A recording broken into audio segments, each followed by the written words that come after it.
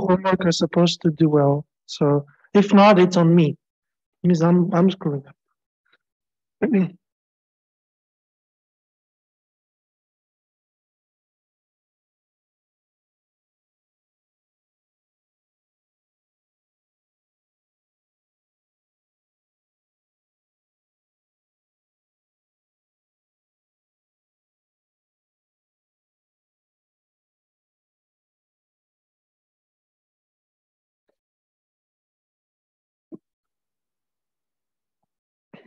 Hi, can you hear me?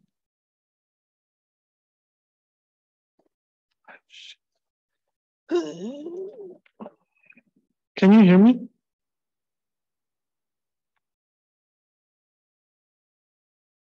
Okay, good. Thank you.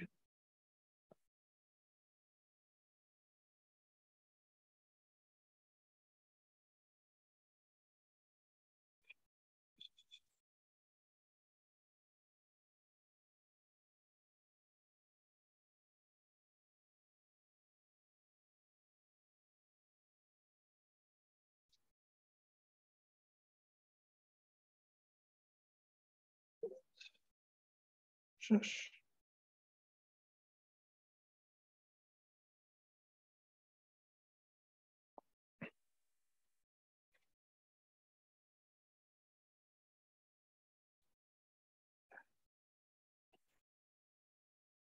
Daniel, can you talk? Just for a second.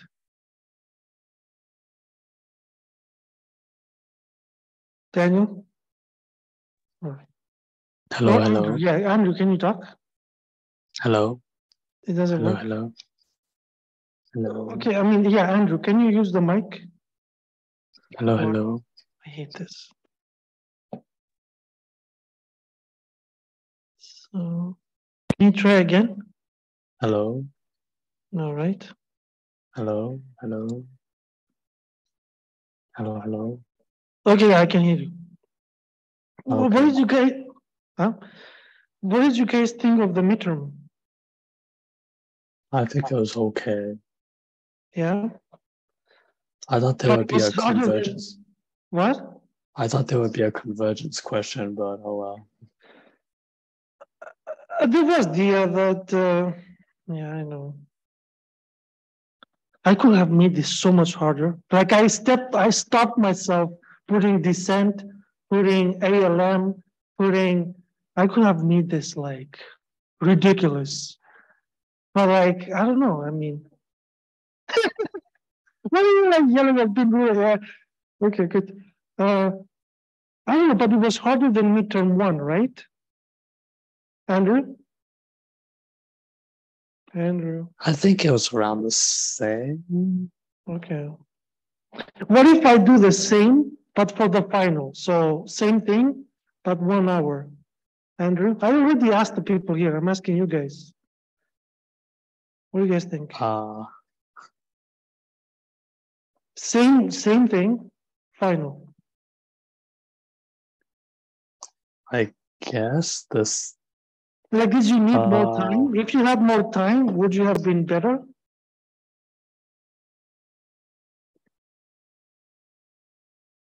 Same for the, okay. mm, Maybe, maybe, since the second part is about PD, uh, doing calculation calculus of variations. Um, yes. You probably do there's less plug in numbers and more solving things. So maybe more time would be good.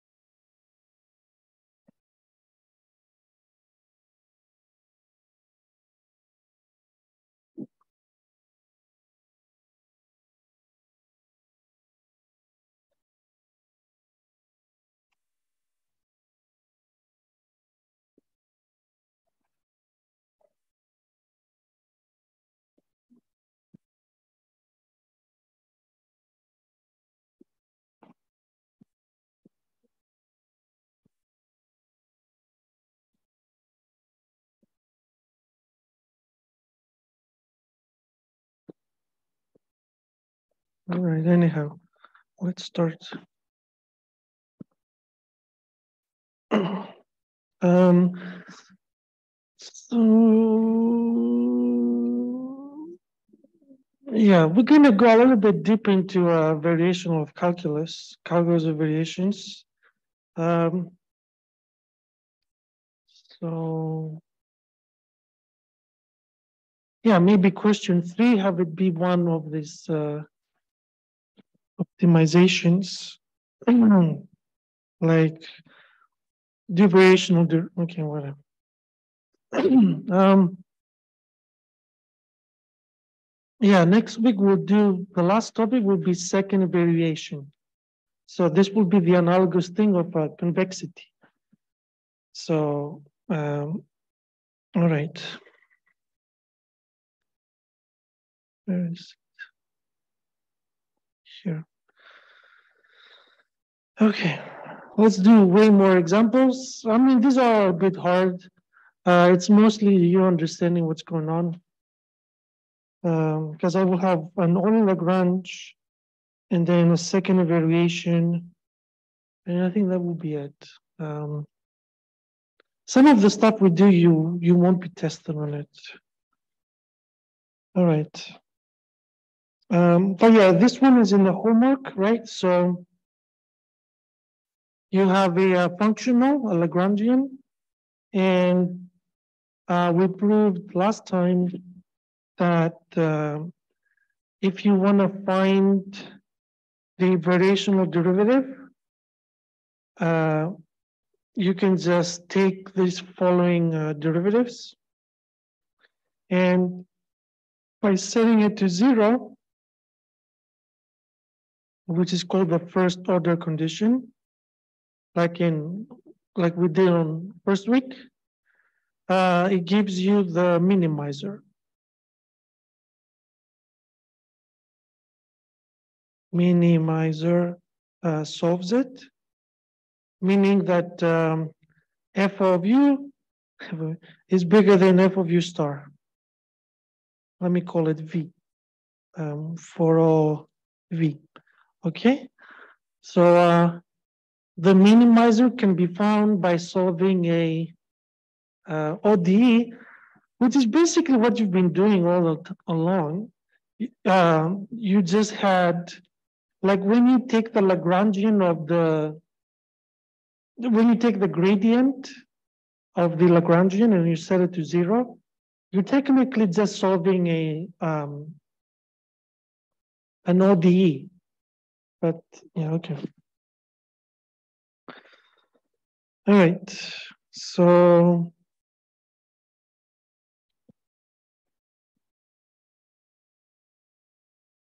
so yeah, we talked about this last time. Suppose you have a function u and you revolve it around the x-axis, you get you get a vase like that. And then the question is, find the U that will minimize, that will give you a vase of minimum uh, paint area. Okay, so you don't have to paint the vase a lot. And uh, this is given by this, which I found you did it last year in your, not last year, you did it in second year um, calculus. So that's all right.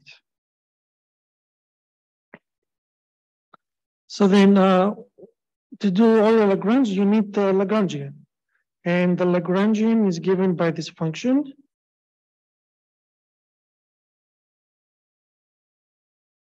Uh, that's because whenever you see u, you put z Whenever you see U prime, you put P, okay?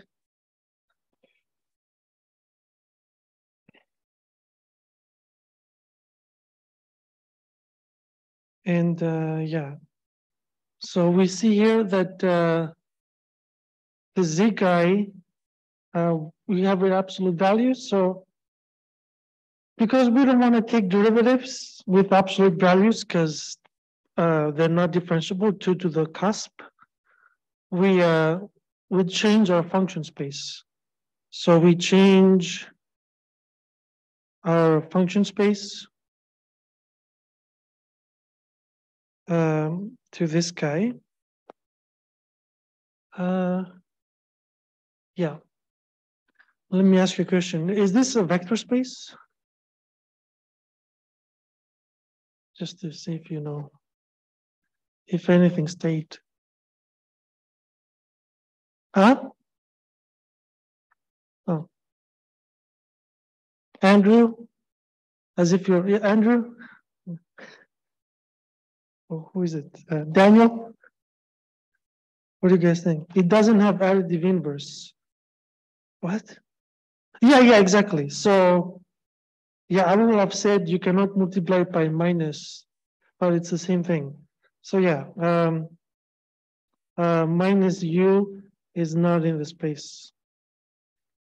So you cannot uh, subtract functions, for example.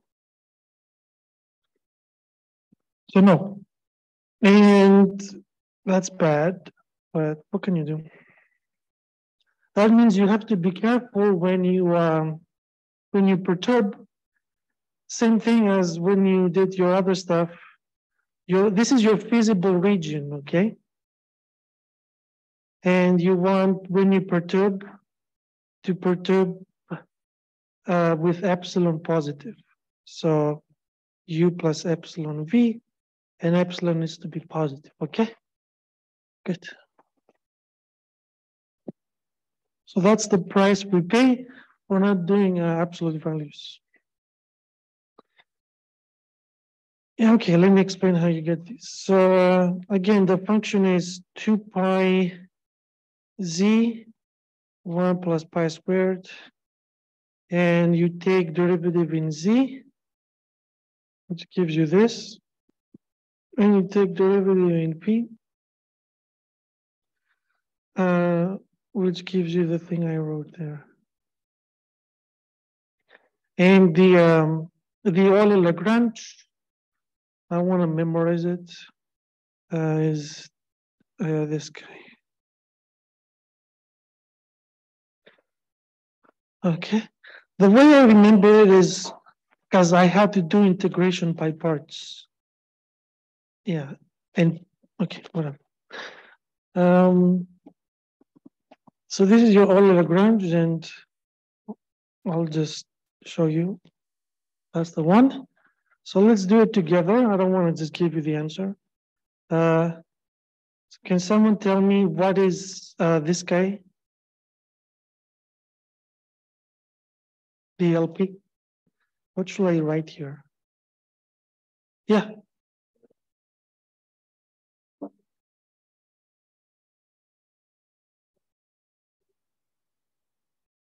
Yeah.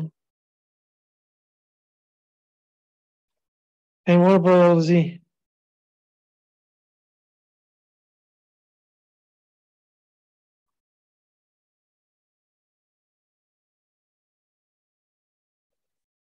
Yeah, this is terrible. I have no idea how to solve it. Um, I, do I? Mm. No, Maybe you can do change of variables. But okay, here's the, uh, yeah, it's an ODE. So, um, but we know how these solutions look like. How would you know though? Ah, I know, I know. You haven't learned that. I wish so this was a prerequisite. You have to do a change of variables. Um, okay, anyways. So we'll just verify that this guy, this uh, cos h, so uh, cos h of x is equal to Ex, E minus X over 2, and uh, sinh of X, uh, same thing the minus. Okay? And uh, we'll verify that it solves this uh, ugly looking ODE. Okay, let's go. Yeah, that's a good, isn't that a good question for the final? Like, find no wait like give you the like i have to find the question right we can talk about this So we have a functional. Um, you find the Euler-Lagrange, part A. And then part B, verify that this guy is a solution. Yeah, yeah. What do you guys think? Yeah, that's what I'm saying. Like, what do you want? What? Is that good? Oh, because oh, it depends on, yeah, it's a little bit ugly, you're right. But uh, okay, let's do it. So you take derivative and derivative of um, cos h is sinh. Um, and then um, and then I here I use the identity. Uh, do you guys know which identity I'm using? I can just tell you. No, you've never seen it. Yeah, I know it's almost yeah exactly.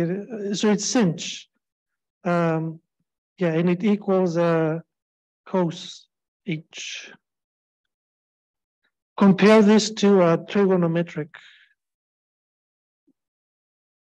Uh, no, no, you can you can bring your notes. But uh, but okay, I don't know what you will need to know. Like, yeah, I mean, no, like this stuff. No, I will put it as a hint or something. Like this identity. Yeah. Yeah, I will put hints like that. Did I give you a good hint in the Peter? Wasn't that a good hint? No? For the duo? Huh? Yeah. I was like, should I put it? Yes. Don't don't destroy them. Yeah, so I put. I put hints.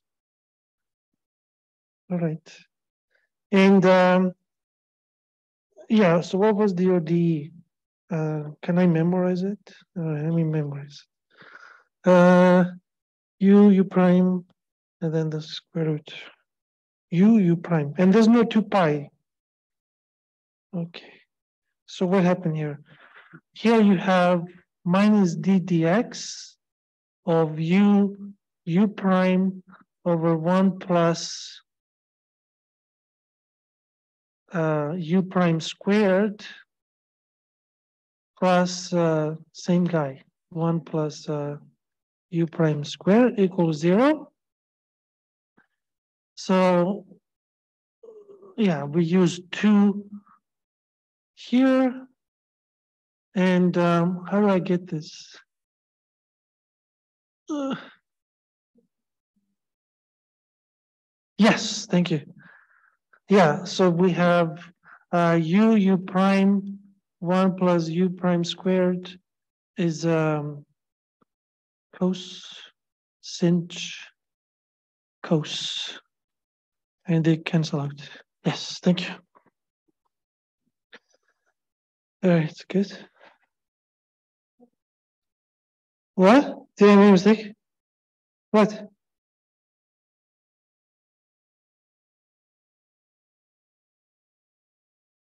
Yeah, the beta is over here. What? Oh yeah, yeah. Oh yeah, you're right. That's left put it here. You're right. Yes. Um. Yeah. So then you have to verify that it, it's zero, and you use the following. You use that the derivative of sinh is a hyperbolic cosine. Okay. I mean, I know I'm writing these symbols, but this is so easy. This just says ddx of uh, ex, e minus x is equal to e to the x plus e minus x. That's all it says, which is obvious, right? Yeah, whatever. Okay, and then so indeed they cancel out. Okay, so this is a solution to your Euler-Lagrange, and it suffices to check your um, initial conditions. Okay, isn't that easy so far? No? Okay, good. So uh, uh, I have to check this initial conditions. What does that mean? It means uh, u of zero has to equal one. Yeah. And u of one has to equal one. Okay, so when I write down AA to uh, to uh, BB, it means you want U of A to be A and uh, U of B to be B. Okay? You understand? All right. So I want to do this with you because I'm bored. Uh, so um, U of zero, what is that? Yeah, any idea what is U of zero?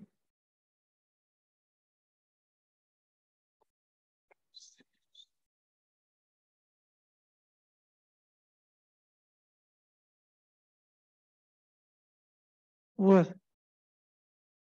Is it? Oh yeah, it's forced to be one, right? But then this case equal to um, uh, oh, um, e to the uh, minus a over beta plus uh, uh, a over beta over two. That looks terrible.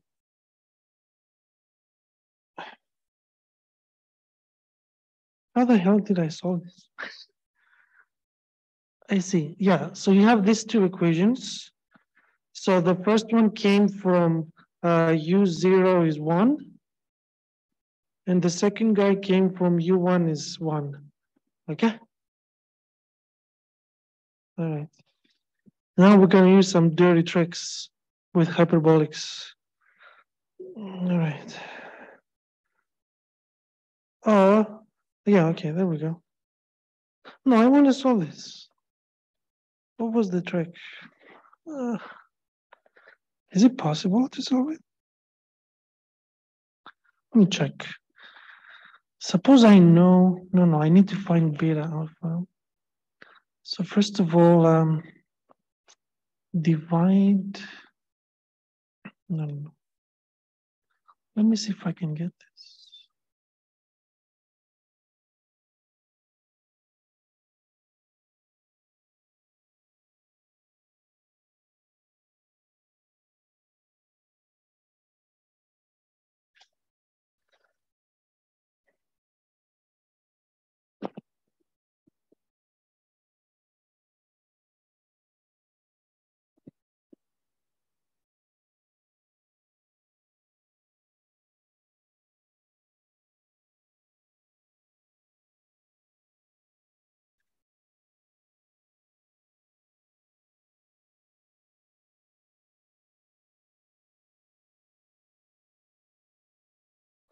All right, here's how you do it. I don't know who cares, but I'll say it anyhow.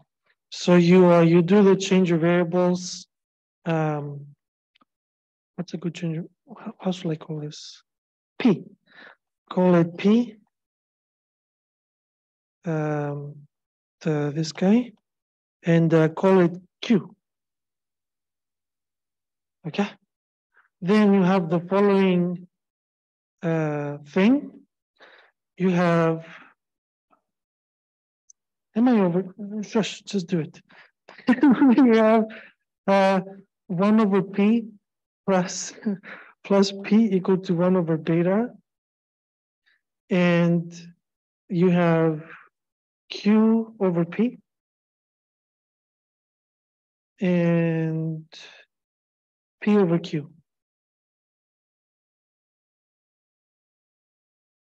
And um, yeah, anyhow, so you can get it from here, okay? What? Do I have to do this? Uh, from from here you get P. So I mean it's disgusting. Okay, it might be a little bit too hard actually. Um, I might just give you the the final answer or something. Yeah, yeah, this is too much. You won't have time to do this. So I might be like, you get this equation, this equation has this answer. Or just get, yeah, this equation has this answer, something like that. Or I'll make sure the system is easy. We'll see. No, you won't have to do this, okay? What, question? Did you been reading? Did you, like John Nash, did you find something? Uh,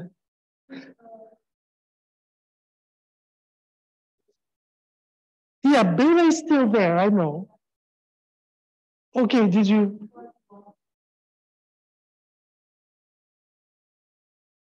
What?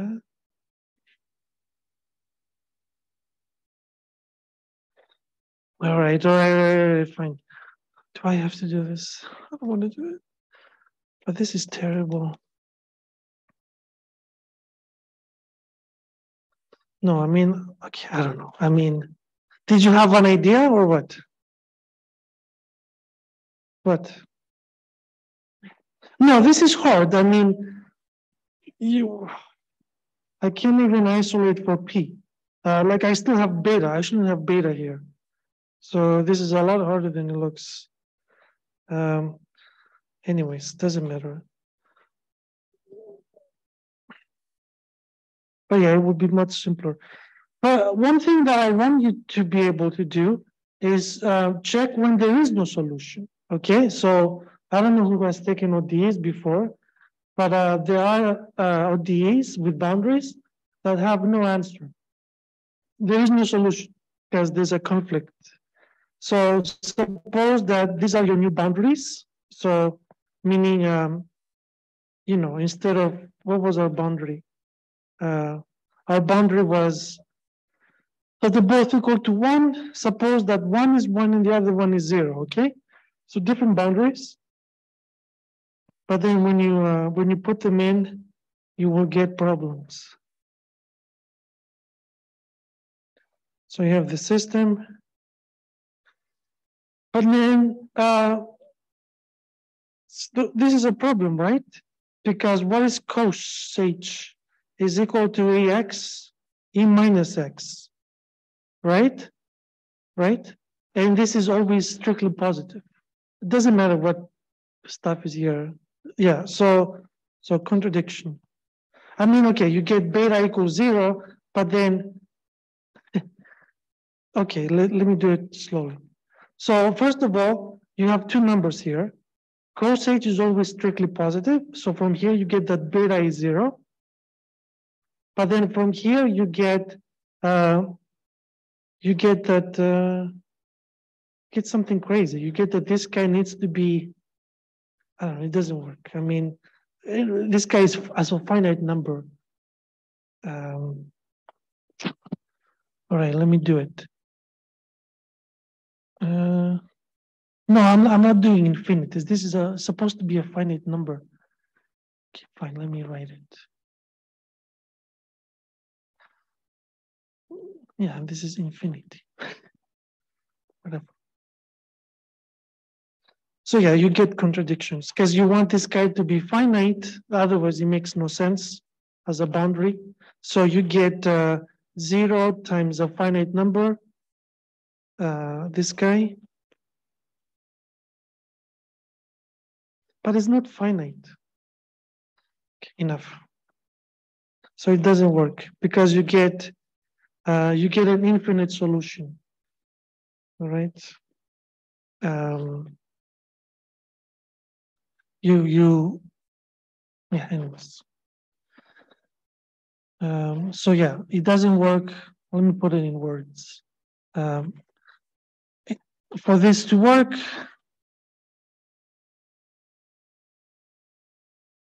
uh, we need uh, alpha to be basically beta. Otherwise, it doesn't work. It blows up. And um, anyway, so from here, you get, uh, so when you of alpha, oof, you get alpha minus alpha, which is zero.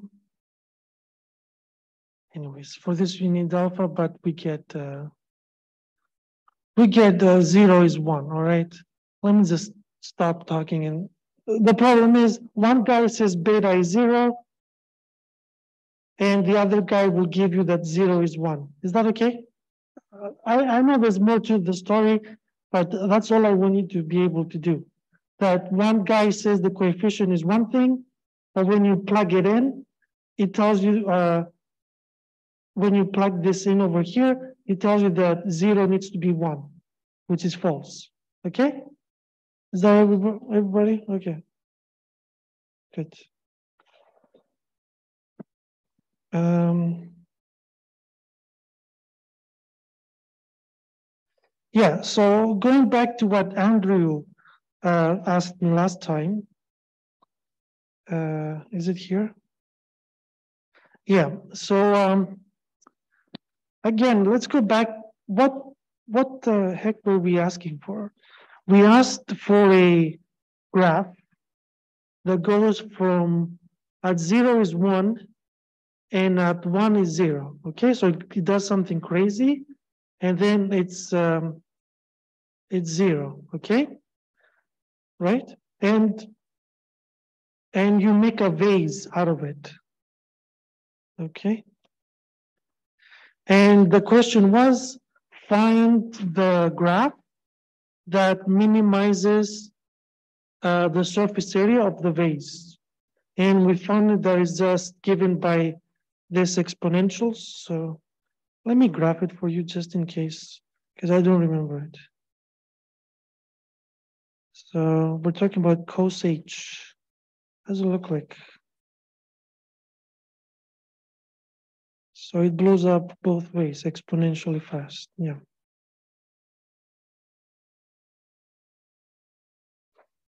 But then how would you draw this?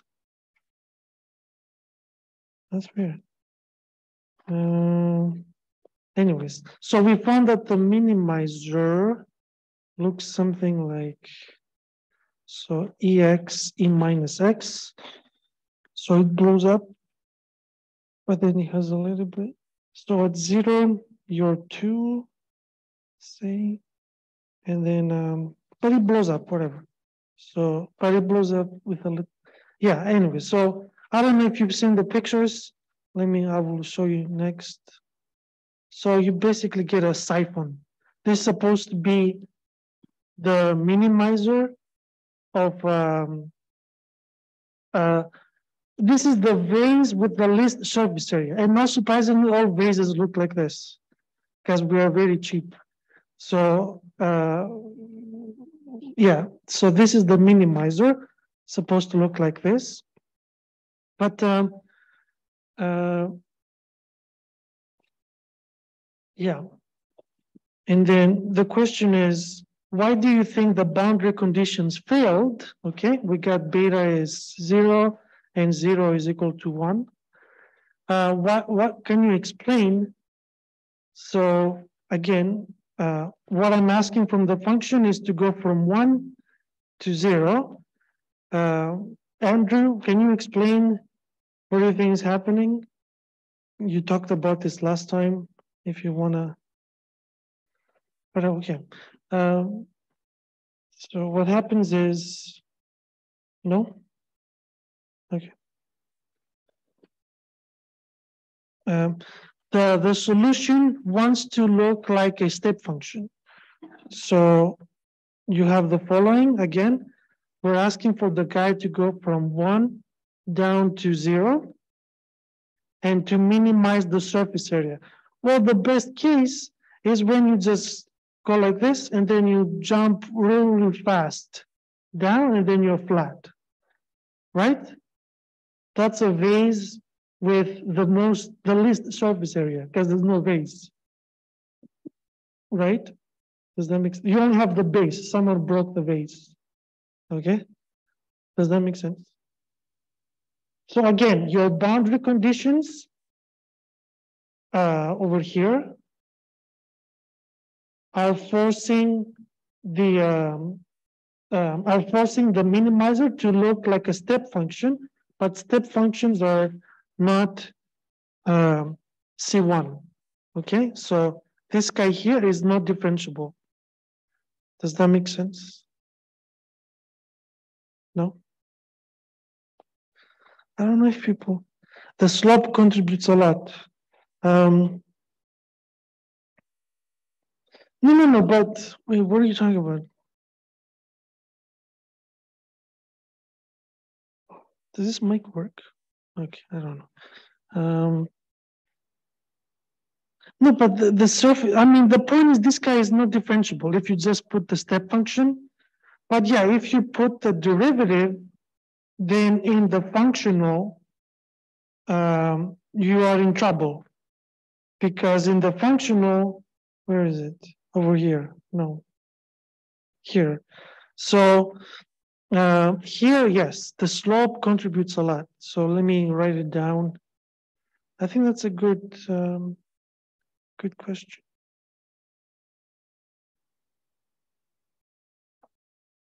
So.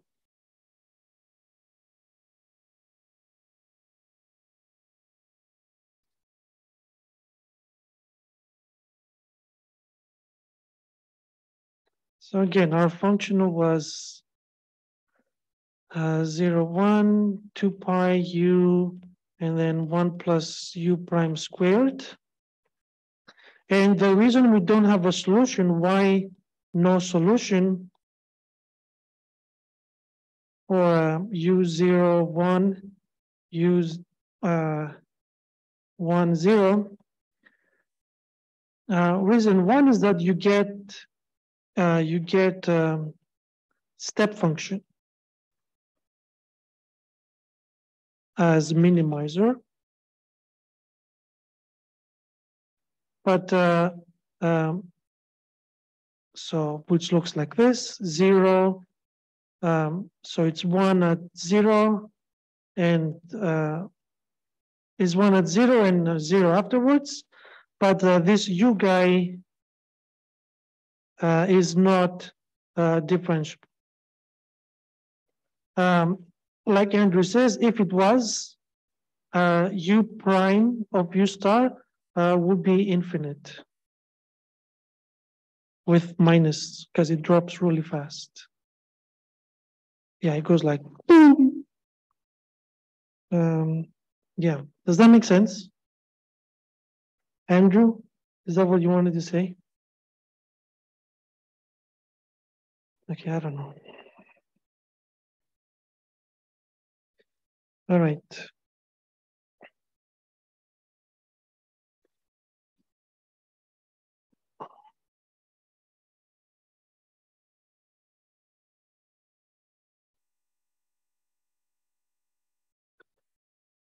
Um, but we live in the real world, and in the real world, minimizers are not graphs, they're surfaces, 3D surfaces. So uh, we have to talk about vector valued U. Um, so just to see if you understand, um, if U goes from AB to um, R3, how does it look like? Any ideas? just to see if four years of math taught you anything.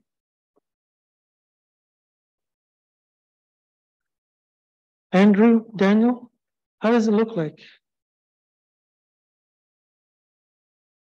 What do you think?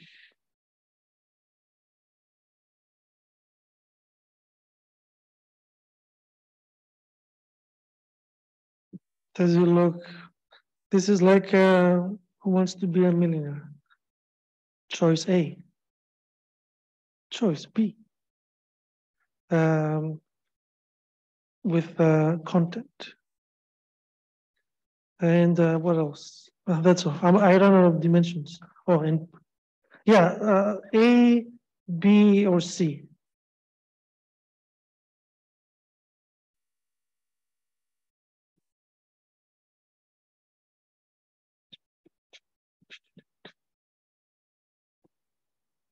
Huh? You said C? What do you guys think? A, B, C. Yeah, it's like a field ball. Can it be a field ball?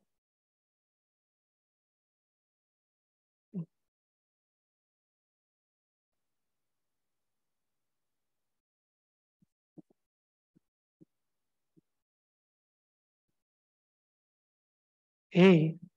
What are you guys talking about? It's B. So, and the reason is um, because you have one variable. Uh, this is in R.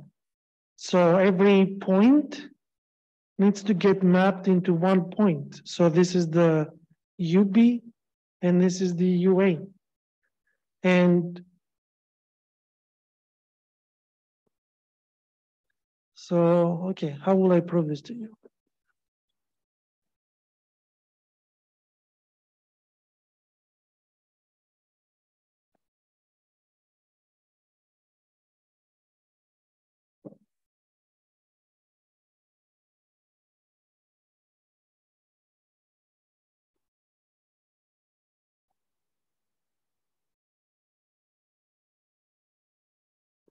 Think about it this way. Uh, when you're in an interval, uh, you can only move backwards and forwards, right?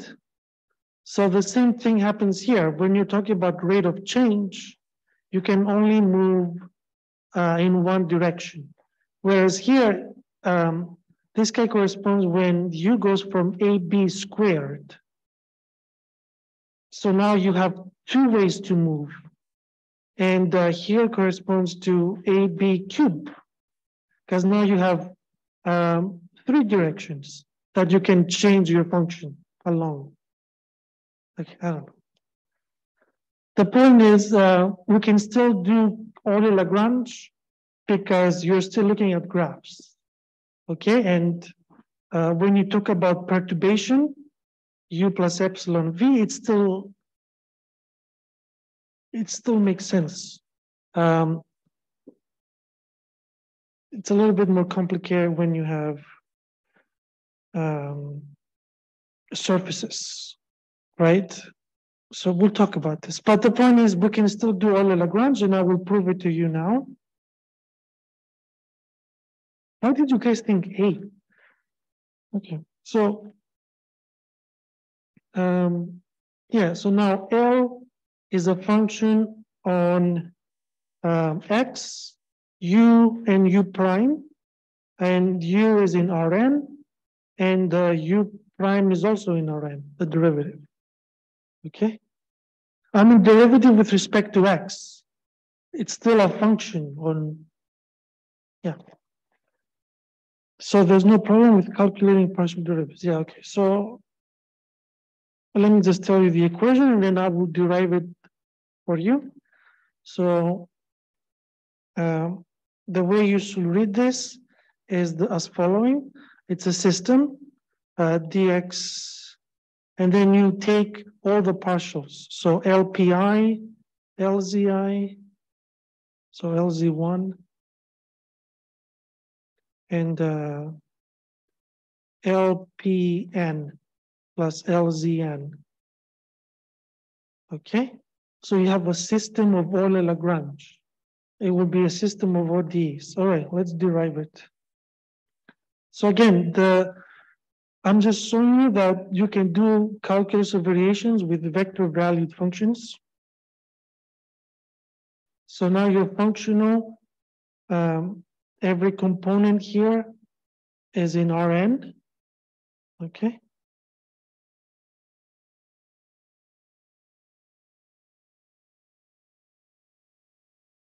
And you do your usual perturbation, but you do it for each variable, okay?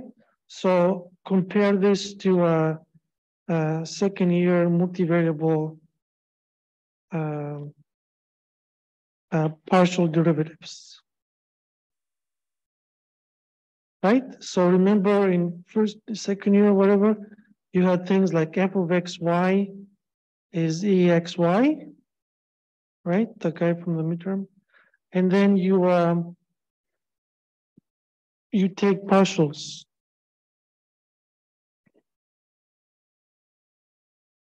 Mm.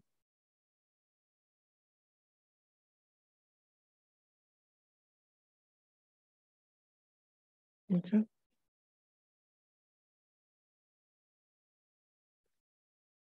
So um Oh, this is supposed to be zero. Okay. I'll fix it. Uh, so you do a perturbation with respect to test functions. And uh, yeah, let's take, yes. What? Can you give me like one minute? Wait, I thought I uploaded it. I didn't upload it. That's weird.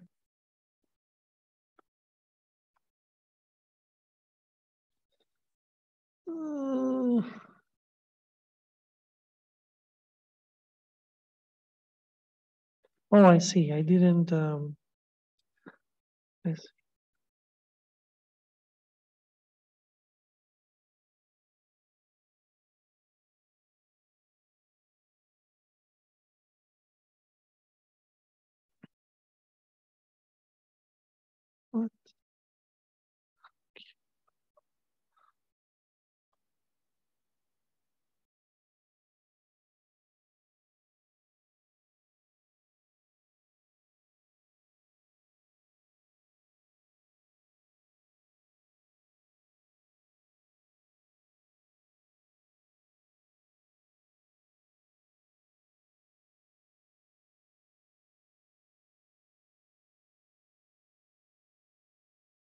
Yeah, can you see it now?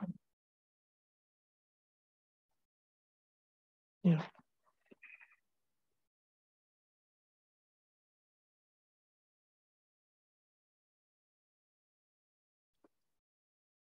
Is it there?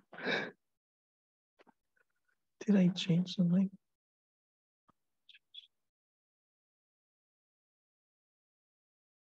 Oh, it's there? Oh, very good.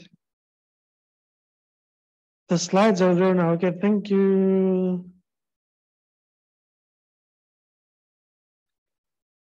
Um, yes. Uh, so it's the same thing. You just have to now take partial derivatives and set them to zero. So I take partial and um, I set it to zero, right? But we'll talk about this. So I take partial and then I do chain rule. Okay, so let me explain what happened here. So you have L uh, d d epsilon, and then you have x, u plus epsilon v, uh, v plus u prime epsilon v prime. And um, and I ignore all the other ones. I don't care. They don't have the epsilon. The other ones are um, the other ones have u uh, they have ui, right? Where i is not k, right? Does that make sense? Okay, so that's why it doesn't matter and they're decoupled. So next week we'll do PDEs where they are decoupled. But for now, uh, you just have ODEs. You won't see PDEs, you will see ODEs, but you won't see PDEs in the final. Uh, come hang me if I uh, shoot me down. If I yes, okay. Um, so anyway, so you do that, and uh, I get uh, the two terms by total derivative. Is that okay? Okay, good. But then uh, from here to here, we do the same trick from before, integration by parts. You take out the VK, and can someone tell me? Yeah, okay. And then the only difference now is that you want your gradient over all the epsilons to be zero. But what's the gradient over epsilons by definition is partial epsilon one, right? Partial epsilon n of f equal to the zero uh, vector. So you want each of them to be zero, right? So remember, this is what we called first order condition. Okay? So this is second year calculus. So far we did first year, now we're doing second year. And then, um, so you set this integral to zero, and we'll take a break here. Uh, can someone tell me uh, how to get my ODE from here? So I know that this guy is zero. How do I get the, uh, the ODE?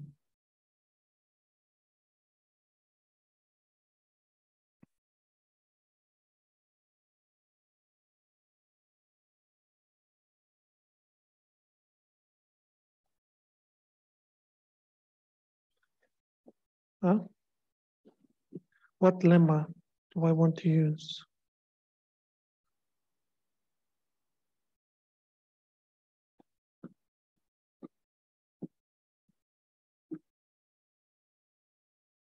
Yeah, you will have to know this. I mean, it will be in your notes in the final, but it's good to know it by heart so that you don't have to like. It will be so noisy in the final. People going through their books. Mm-hmm. Uh, maybe wear some earplugs. Yeah. So what's the lemma? What is it called? Yeah, there we go. F little o c, fundamental theorem of calculus of variations. Should I put the other letters? FOCV. Yeah. Whatever helps you memorize it. Okay. FOCV. All right, so let's take a break and I'll do the example.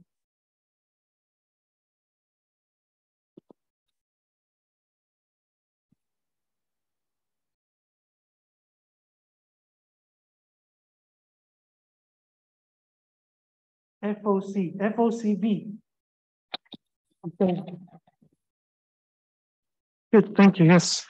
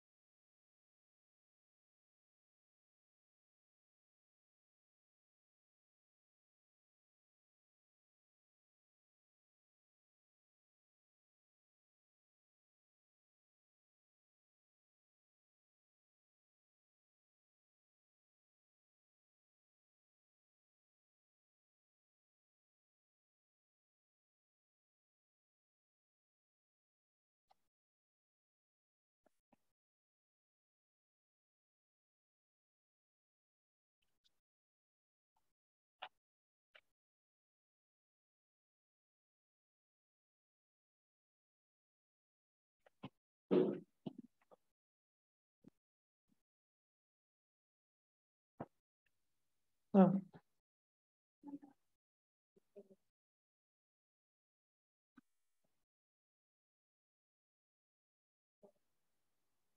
Oh. Oh, I see. Why? Okay, um, well, then you found it, then you, uh, I see. Uh, And then what, how did you do it? Let me see. so that- Then what happened? Yeah, yeah, yeah, no. Yeah, yeah, yeah. Then, uh,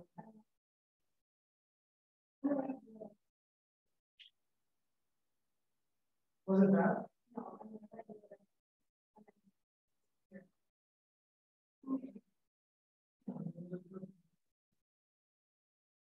Can a calculator this? You know, you can use a calculator to solve what these. What?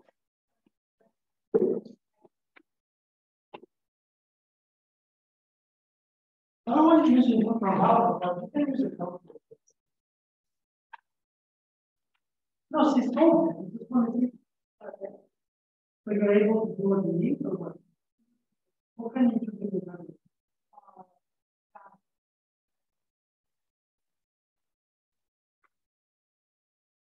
Oh, I see, I see. Can you, like, you can solve, uh. These are. And then you have it. okay.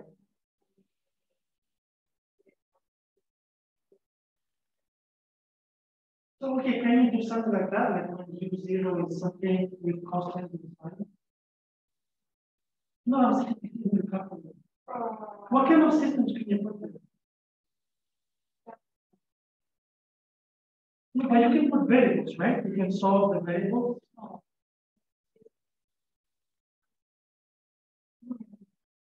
Huh? Sorry, what did you want to solve? No, I just want to try, it happen in soccer. but it- I mean, I don't. I- No, no, you, I mean, well, I see what's the same. If it was just A and B, you can do it, because cosine of zero is one, sine of x is zero. Yeah, okay.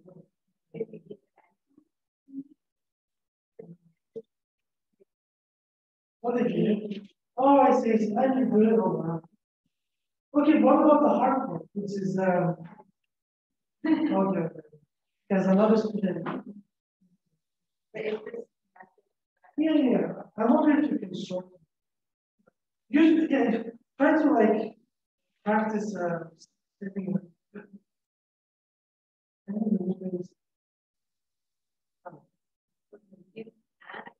Yeah, you don't have to show us everything. I mean,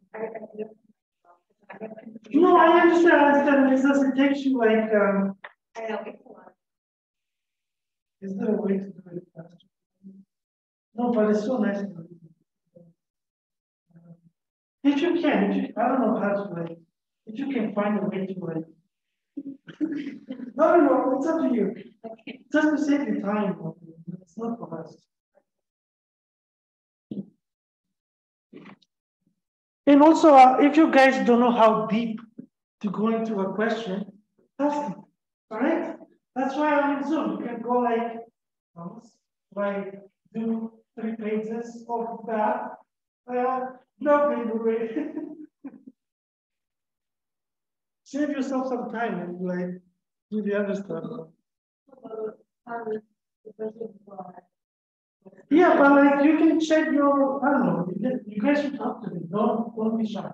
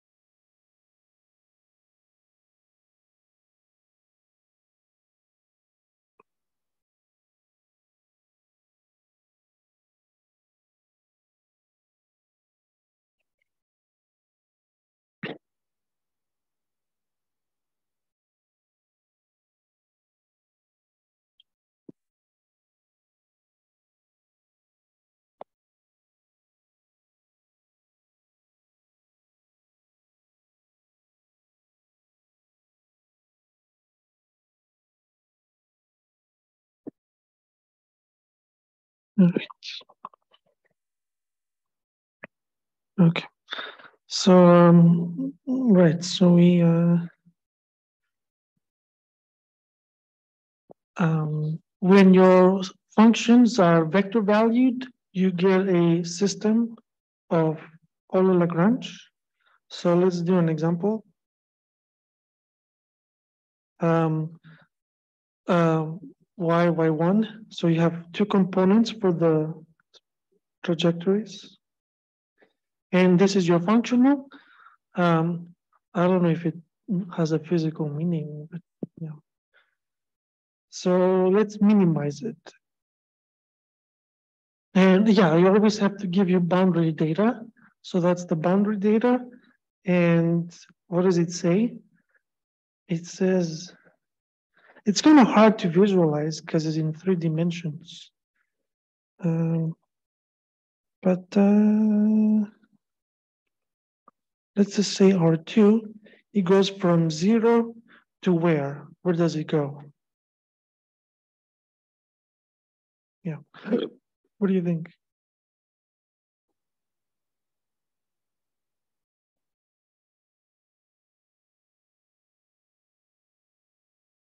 Shall I do it? What? This is one. Or no? What the hell am I writing? Oh, this is pi over two. Anyways, it goes up to uh, one, uh, one minus one.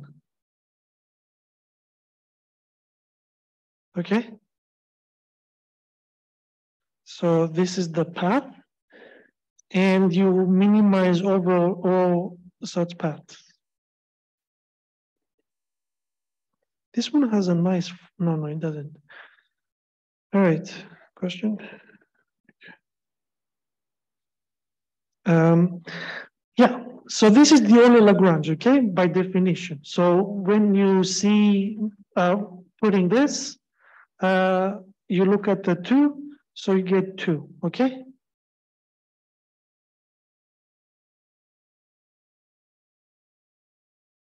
And uh, so you have two equations. And uh, I want to do this with you. So first, um, can someone tell me what is Z1? What do you think?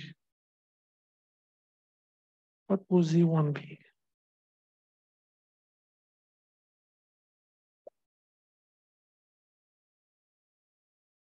Huh? Yeah, it's Y1. Z2 is what? And P1? Good. So these are your variables. Um, yeah. And now, is that okay? And now let's take derivatives. So what is L of P1? What do you think? What is it? Oh yeah, yeah. What is L of P1? Very easy.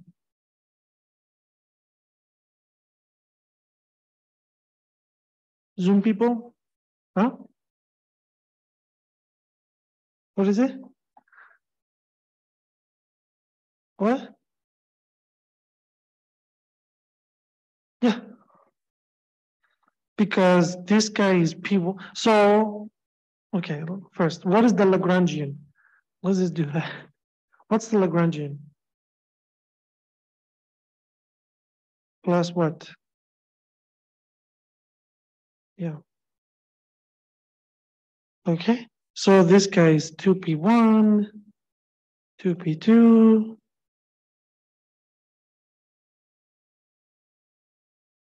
and uh, LZ1 is 2Z2. LZ2 is 2Z1. All right, good. Okay, so what?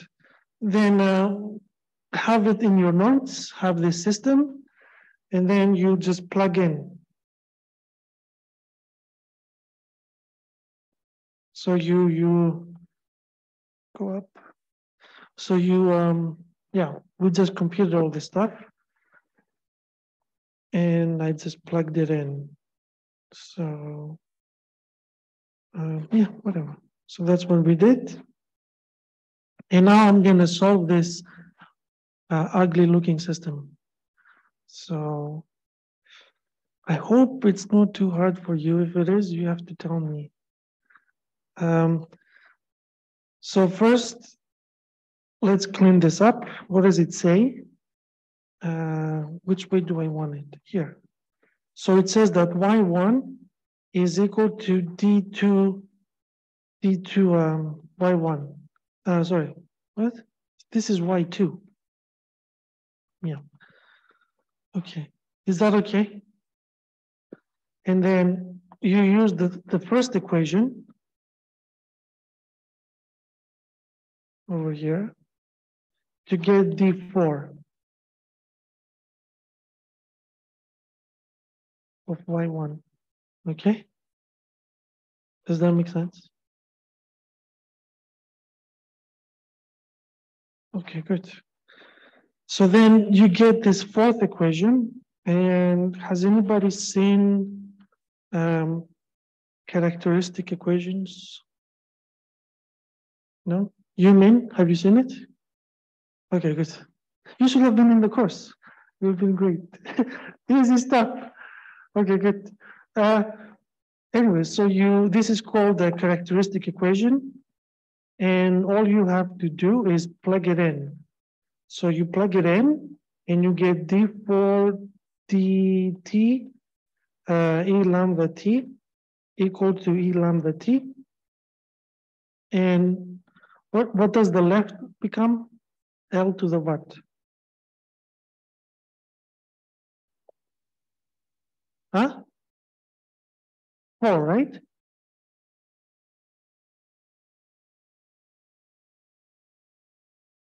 So you get lambda four is one. And I don't know if you've seen this, uh, I will try to find a way to make it. I might just give you the, I don't know what to give you. Is that too much of a jump? Like if somebody tells you L4 is one, are you able to say that it has these four solutions or no? Have you heard me? Have you done any complex? Oh, you took complex variables? Okay, I can put contours then. I can put a. but okay, you, have seen at least the um, roots of unity. Yeah, so this is the roots of unity. Um, but anyways, I mean, this is something you can put in, in your calculator. So please bring your calculator. And when you put this guy, it will give you these four solutions, okay? And then just write it down and I will be happy. Just write down that the general solution is given by just putting all the roots. Okay, t minus EIT and e to the minus IT. Okay, even if you just do the first step, is fine. If you can do the second step, I will be super happy as well.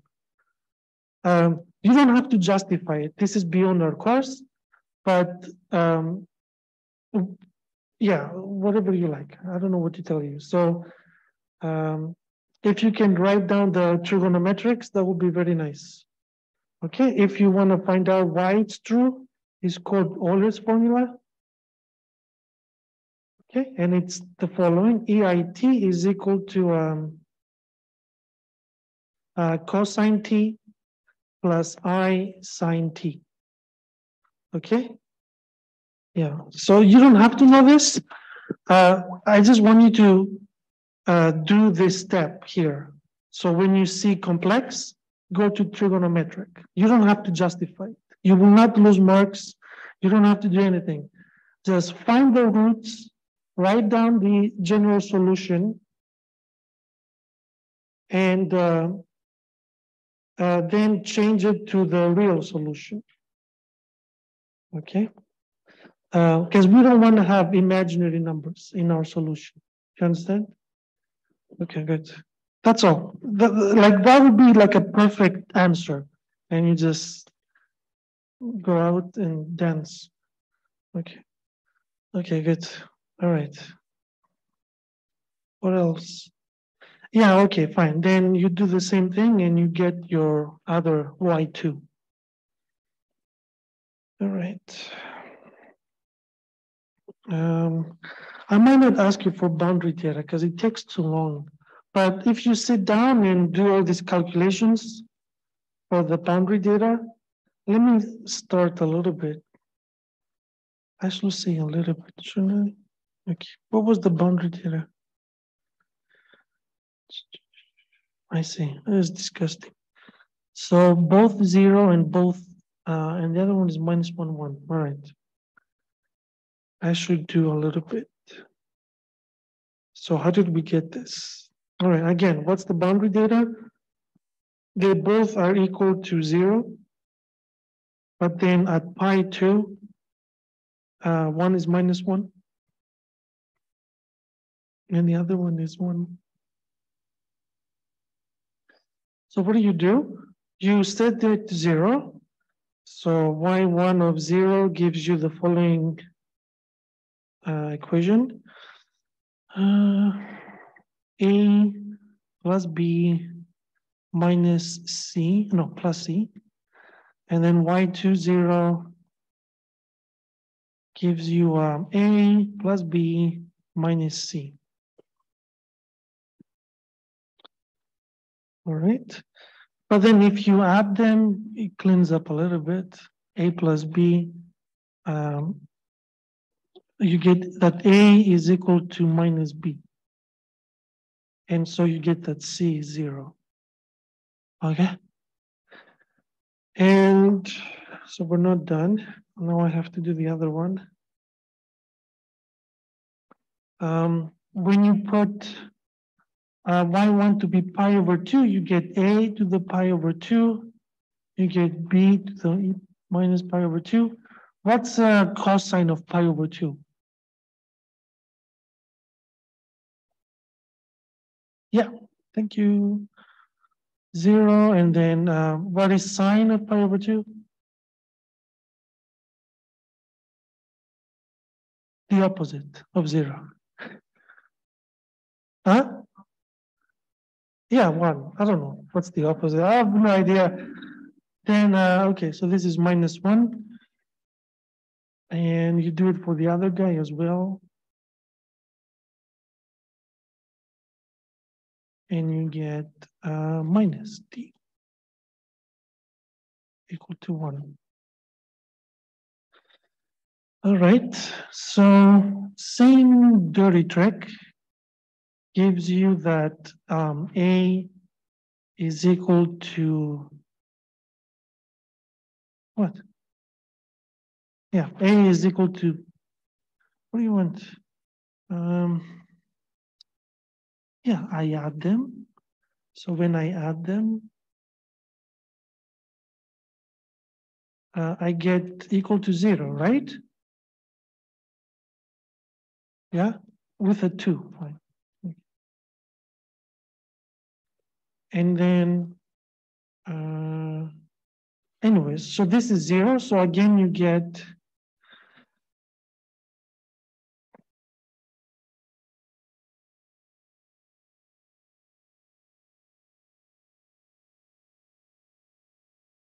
Isn't that weird? So this guy is dead. This guy is dead. D is minus one. Yeah, and D is minus one. Okay? Because these guys are zero. Yeah. So D is minus one. So I got that. I got that C equals zero. How the hell am I going to get that A and B are zero? Yes, please. So from this guy, right? Yeah, yeah, yeah. Okay, thank you, thank you, thank you. I knew it. So lazy. Um, so plug in A equal B minus B. So you get um, A, uh, A pi over uh, with a minus. Uh, equaling zero, yeah? But this guy is not zero. So A is zero. Okay, is that reasonable for a question? Huh? Okay, good.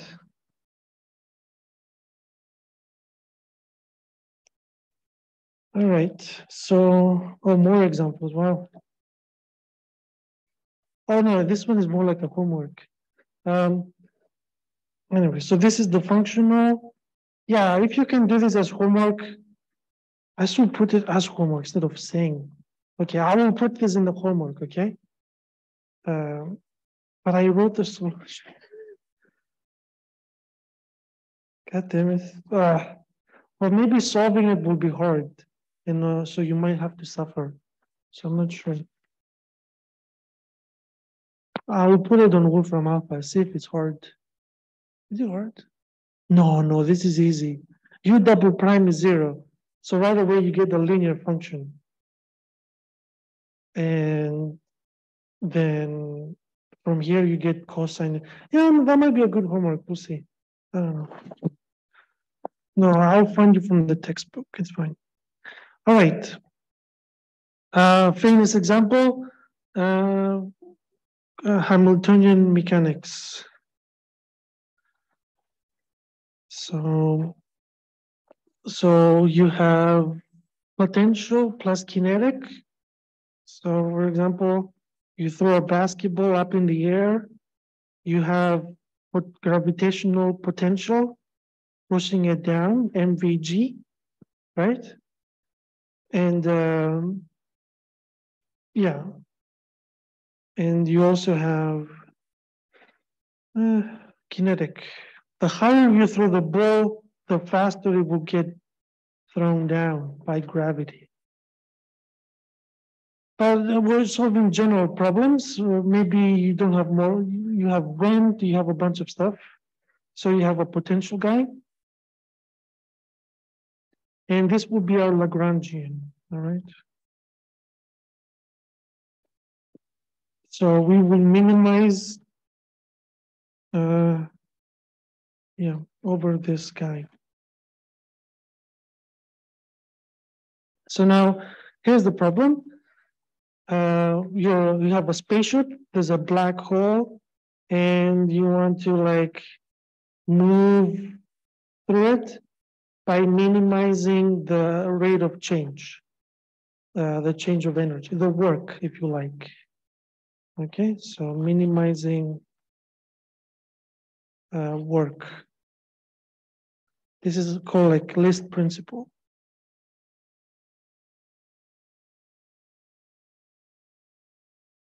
Okay. What? Yeah, I mean, I don't know what you want to call it, but we're minimizing the Hamiltonian. So, like, the way uh, you can think about this is sure. I mean,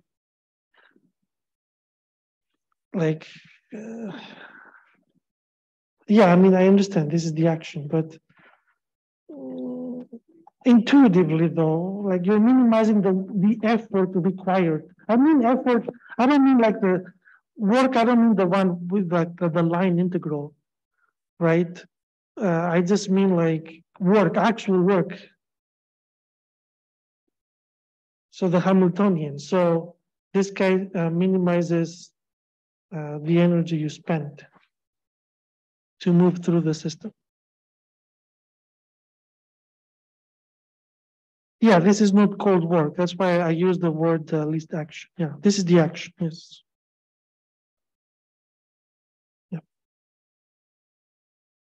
Yeah, we're going to integrate this.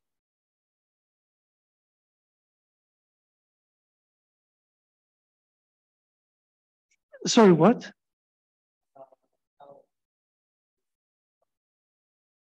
Yes. But it's also called the action.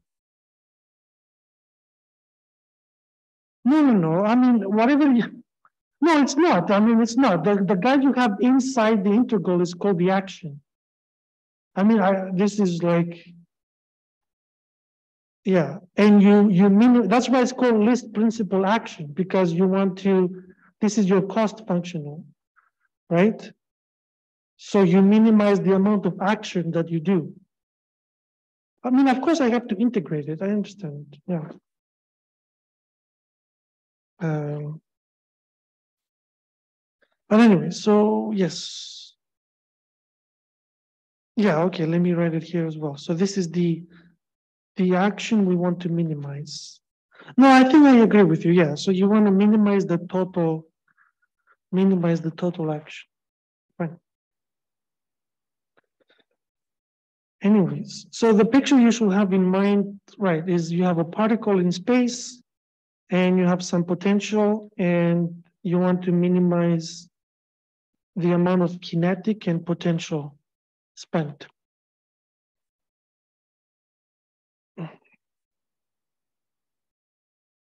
So I want to do this with you. Yeah, let's do it together. So um, can someone tell me what is L of X? What is L of X? I.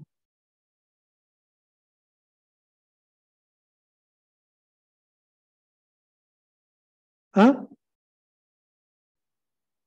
What? Can you speak up?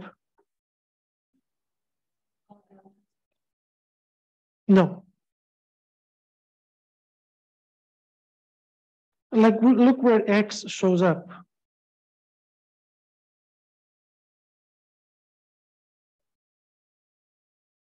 Yeah, what? I mean, we're gonna derive this. I'm trying to derive this. So how would you, uh, yeah, what is L of xi?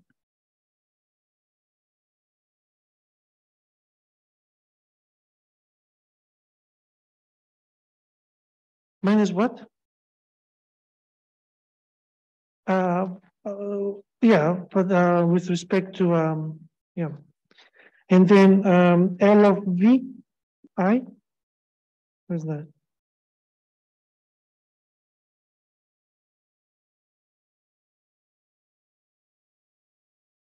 Is there a parenthesis?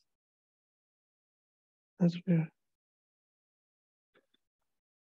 Hmm? What is LOVI?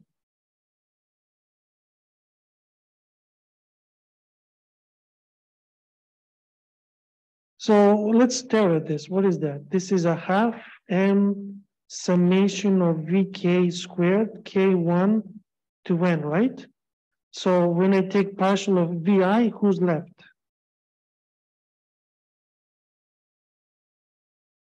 Huh? What? Yeah, yeah, but who's left? Yeah. Right? Because they all die. Okay, good. And um, why is there a parenthesis here? That's really weird. I'm confused.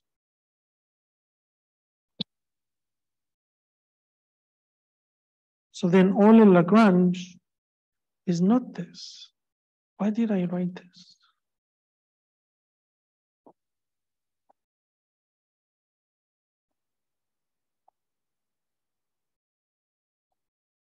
I mean, I know what Euler Lagrange is. It's this guy with uh, L of um, V, right? Plus uh, L of X equals zero, right? That's Euler Lagrange. But yet I wrote this. Okay, we'll see. I mean, this is not right. Uh, I don't know what I meant. Yeah, I knew it was wrong. So this is a parenthesis over here. Okay. All right, just to explain this, uh, I think you lost. Um, so, uh, so this gives you a system, right? And the system will be the following. It will be minus d dt of LV1 plus uh, L of x1 but what is that? This is minus dtt of uh, mv1, uh, but at the path. So I have to put x dot uh, 1 t, and then um, minus uh, v, partial one of um, x t. Is that okay? Does that make sense? No? Yeah, of course. Just tell me. Yeah. So again, we we have this um, crazy looking Lagrangian. And uh, I already put the variables, okay, x, v, but now I have to come back to my uh, to my minimizer, right? So, so remember how we do this. So you take the LV1 and you evaluate V1 at x dot 1 t. Is that okay? Everybody happy? Okay. Plus partial z1, or sorry, x1 of L evaluated at uh, x1 equal to x1t. And same thing, so v1 will be x dot 1t and uh, x1, x1t. Is that okay? All right, good. That's all. And then, um, so let me do that. So we just computed MVI. So you have uh, minus dt m what? m times what?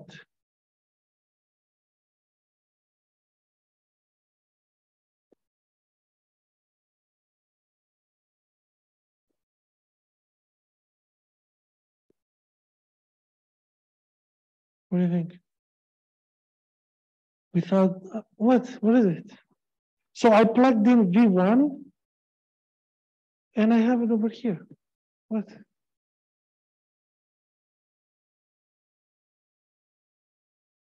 Huh?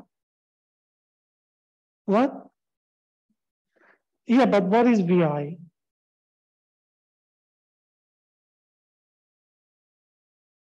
Yeah, so uh, yeah, I'm doing the first, yeah, let me put I all over the place. So this is xi dot t. And then um, the other guy was minus v.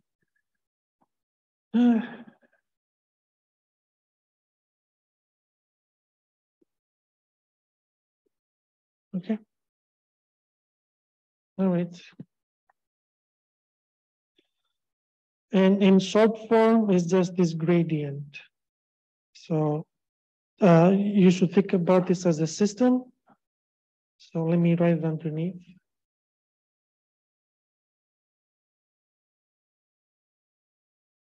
So you have minus dtt of m um, v for v equal to x dot. I might as well write x dot. Plus uh, minus the gradient of uh, vxt. So then you have a system of them. The one I just wrote, dt. I might as well put the thing. Uh, m x double prime 1 x double prime n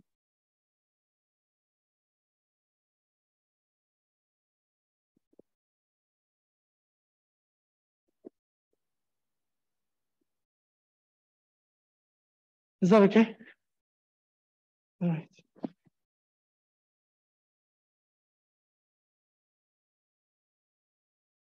So you have this equation, and if you learned it in physics, uh, this is called Newton's second law. Yeah, you mean? Yeah, you mean agrees. Good.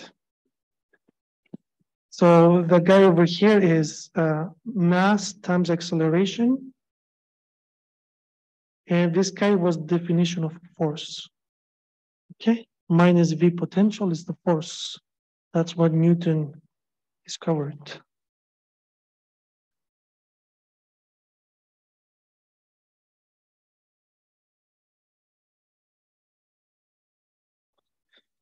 So let's do some minimizations.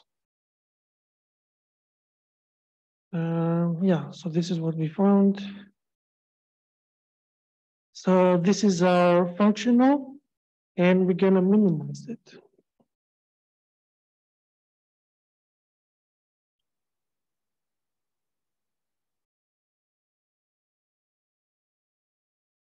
So let's do an example with a specific potential. So uh, you're in R3, you have a fixed location, um, the origin, and then you have a pendulum of length L, and like David, it just move it around and throw it. Yes. But it's like a rod. This is like a rod pendulum. Um, otherwise, there's too much chaos if you let the length uh, change around. So let's do that. So this is the potential. Um, this is just kinetic energy, and this is the one from gravity. Okay? Gravitational potential. And uh, I'm going to minimize this.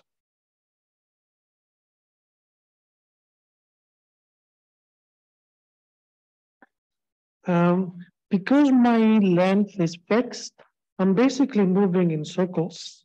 So uh, if you like pictorially, this is your origin, and this is the unit, uh, the L circle, and you have a, a rock moving in the sphere, right? So it has an angle. Let me make this bigger. So you have azimuthal and uh, you have a sphere and you have an angle. So you have a planar angle and the azimuthal. So this is theta with z. Uh-huh. And then you have a phi with the um, with the plane. So I should put it down like this. and this is phi. I don't know if it makes any sense. So you have phi on the plane and theta. So uh, theta is how far you are from being flat, and phi is how much you distorted around the positive x-axis. Okay, so left, right, up, down. So this is up, down, left, right. Okay, all right. So these are called spherical coordinates. All right, and I'm gonna plug them in to make my ODE simpler.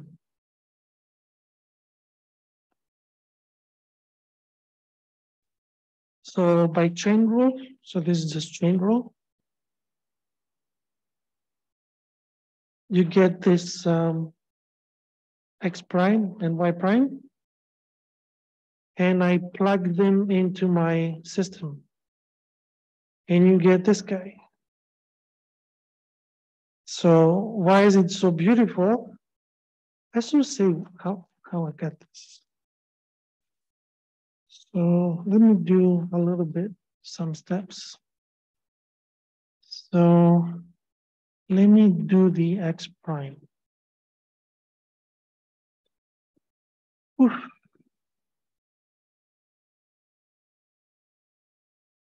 Yeah, whatever. Let's do the X prime. Unless, is there a way to, hmm, there might be a quicker way, eh? Maybe we can use some sort of, um, do you think we can use some geometry here? All right, let me do it. Uh, so if I square them, I get theta prime. That looks terrible, doesn't it? Is there a quick way to do this?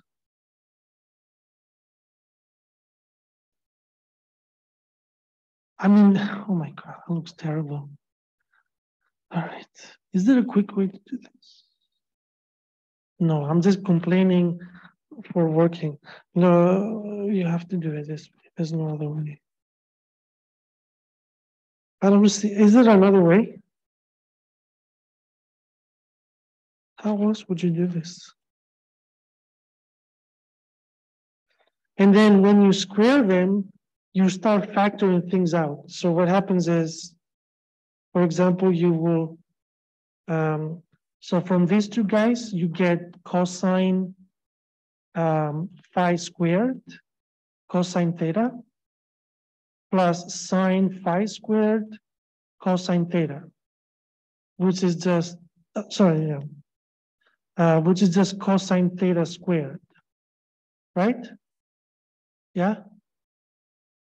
Does that make sense? I don't know. Is that too ugly? All right, fine, fine. Who cares? If you, I don't know, that might be too much. Yeah. All right, good. I know my limits. You can tell me. Uh, okay, good. But anyways, this is how you do it. If you can find another way, I would love to hear it. I think there is another way using Jacobian, but um, anyways. So you do this, you plug them in, and it turns out that it becomes very, very simple, like this. That's very nice. And now you change your variables. Right, so I have my new Lagrangian and I'm gonna minimize it over the angles, okay? And this is a, a little bit simpler than before. I wanna ask you though. I wanna do this with you. Yeah, let's do it together.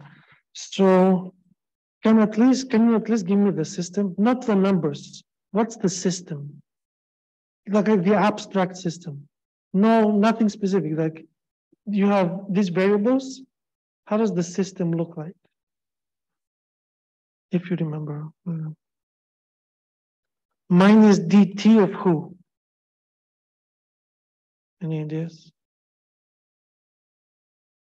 Not specific, like general.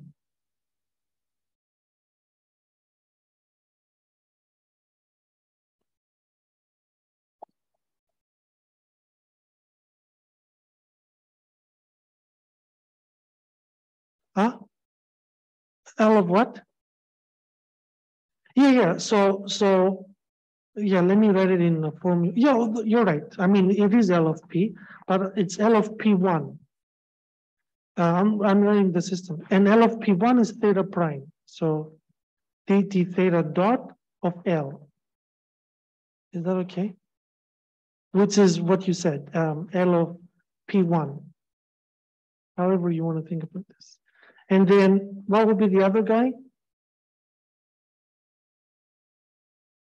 Huh? Yeah, exactly. That's all. And then the other one is symmetric. So you have a partial partial of phi dot. And then, yeah, perfect. Good. So this is your system. And I think I have it here. It looks terrible. Uh, okay, let me explain. So Z1, let me write the variables, all right? Z1 is theta, Z2 is phi, um, uh, P1 is theta dot, and P2 is phi dot. Okay, and then I'm saying take the derivative with theta. Let's do it together, okay? Can someone tell me what's the derivative with respect to theta?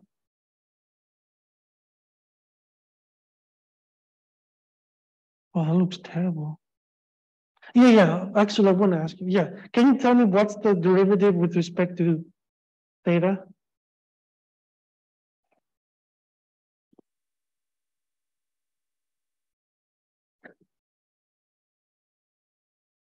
What?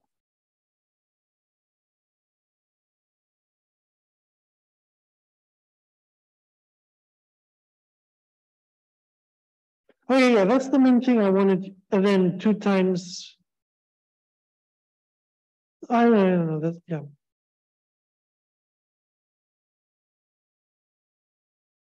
Times cosine theta, right? Uh, plus um, MGL sine theta. Don't you have a mind? Yeah, that's what you said, right? Yeah. Um, anyways, but uh, don't make this mistake. Um, uh, this guy became zero, right? I know, I'm just saying, like, be careful. Because Okay, good. So that's what we have here. Um, uh, yeah, over here. Okay. And yeah, fine. So then what? So this is your system, and then you plug it in into your ODE. All right. So you have the two ODEs I talked about over here, and you plug them in. This clean up? This looks terrible. Evaluating and canceling terms. Oh, I see. I like my dots. They, they became sideways. Okay, I'll fix it. Um, anyway, so you take all these derivatives and you get this guy. Yeah, I don't think you will see this. This is too hard. How do I do afterwards? Describe the motion of a pendulum. Yeah, yeah, okay. But um, yeah, so in 3D, this is really hard. It's a nonlinear ODE. Uh, but to make our life easy, we will assume that you're flat. So there's no azimuthal. So in the next slide, we study the simple case when the azimuthal is dead. So you just get this guy. And we can do this.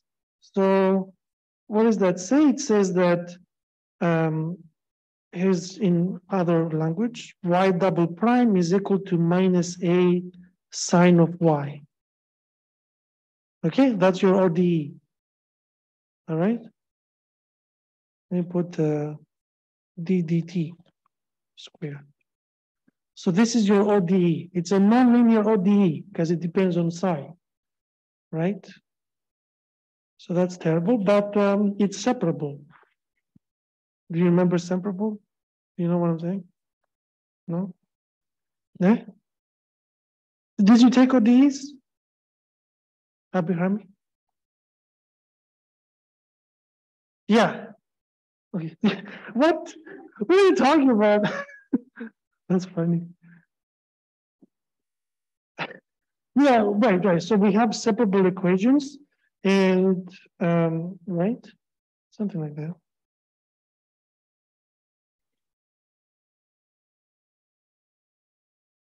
Can I solve it?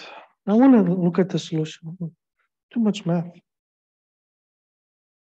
So we have sine of y with a minus equal to y double prime. So what is that? Damn. Yeah, it's disgusting. it's called the amplitude Jacobi. Good. So I knew it. This is from number theory, yeah. Um, anyhow, it looks terrible. How does this look like?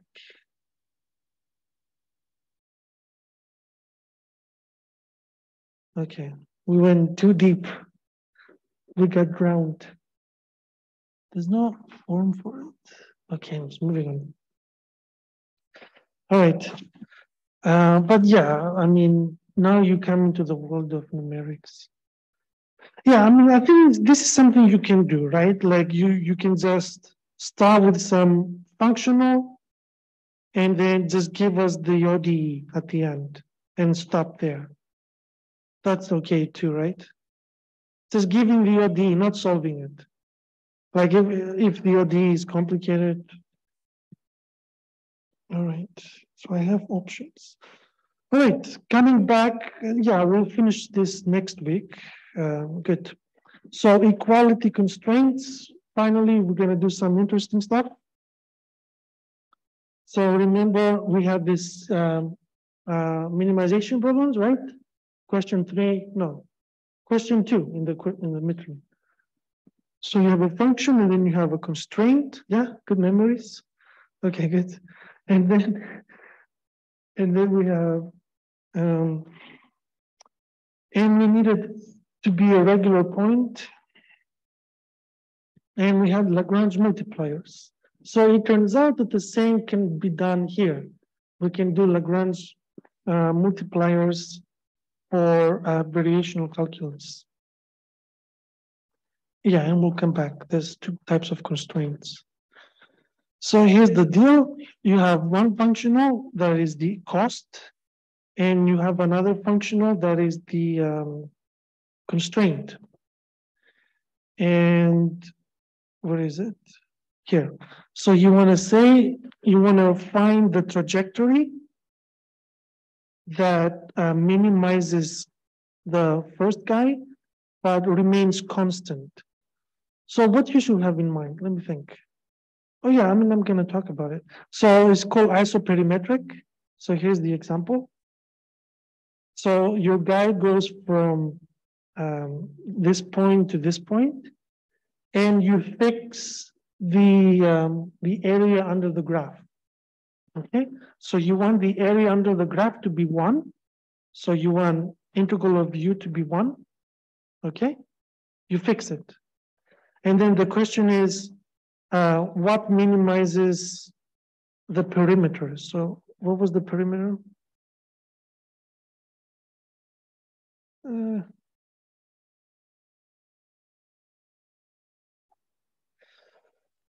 the length, right? So, okay, you want to minimize area, whatever you want, I don't care. Okay.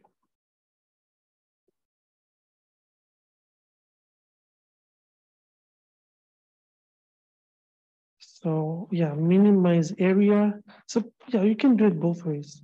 So minimize the area given that the length is some number equal to one. So you have perimeter is one, but then you want to minimize the amount of um, surface area. So this guy could be, yeah. Doesn't make sense. You want, you fix, what is it? Yeah, yeah. Anyways, the answer is the circle, all right? So the area with the least amount of area, so circle, we will show next week has uh, least area uh, given a fixed perimeter.